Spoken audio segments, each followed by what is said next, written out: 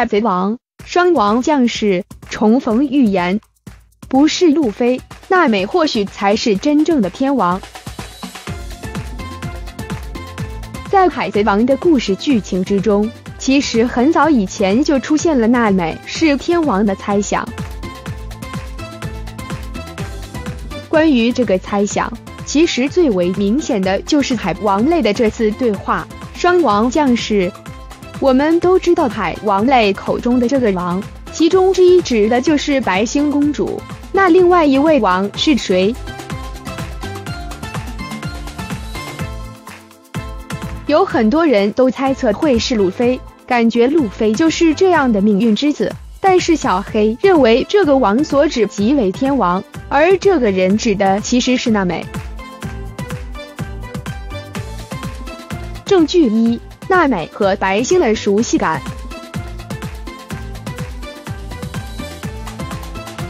对于白星，海王波塞冬而言，所言的熟悉就异常奇怪。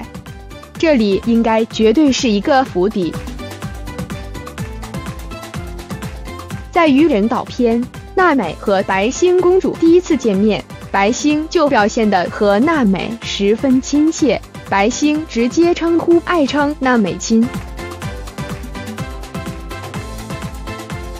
白星也说了一句很重要的话。他虽然和娜美是初次见面，但是他觉得他和娜美就像从小认识的朋友一样。娜美给出的解释，大家都看得出来是很敷衍的一句话，相信绝对不会如此简单。而海王类也说，两位王相遇的一定会十分顺利，所以这种所谓的亲密感就是与生俱来的，刻在骨子里、基因里面的亲近，也侧面印证两人之间绝对有某种关联。证据二：娜美的身世。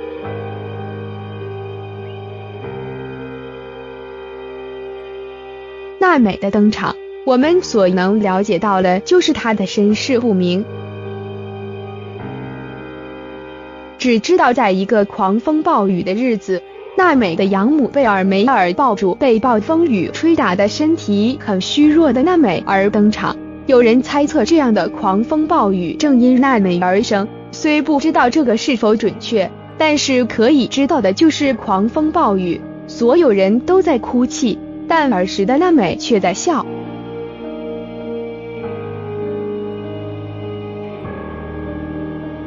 对于这个印象尤为深刻。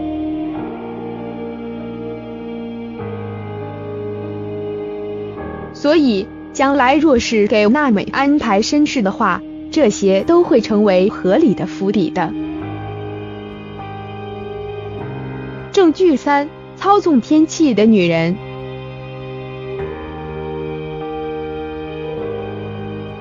在漫画一百九十一集中，北田直接以操纵天气的女人为题，是否在暗示我们娜美的身份？都说草帽团就没有普通人，也正是逐步认证了这种观点。关于这一点，金狮子最有发言权。整个金狮子团队具备大规模的天气预测团。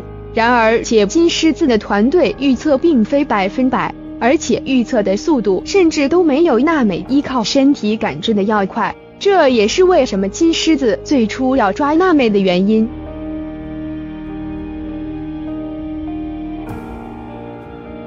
回归到最开始的阶段，为啥说路飞不是这个王？就像江夜一样，男主一直背负著名王之子的名号。结果发现，真正的其实是他身边的是女桑桑。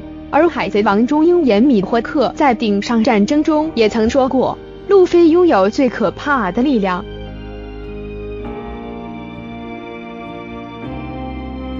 强大的个人魅力，能够将人一个个的吸引过来，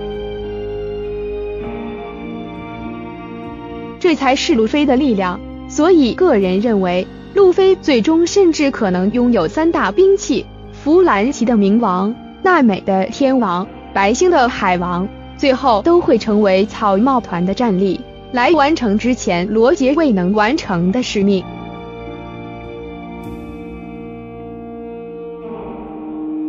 其实罗杰他们所言的太早了，时候不对。仔细回看曾经的剧情，不就是因为没有古代兵器吗？为何没有？不正是因为没有诞生吗？所以必须等到后人来完成。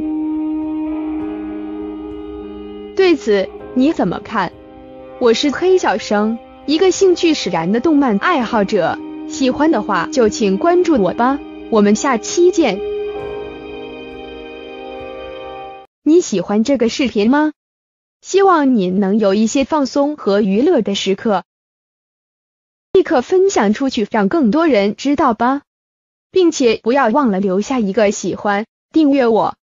再见。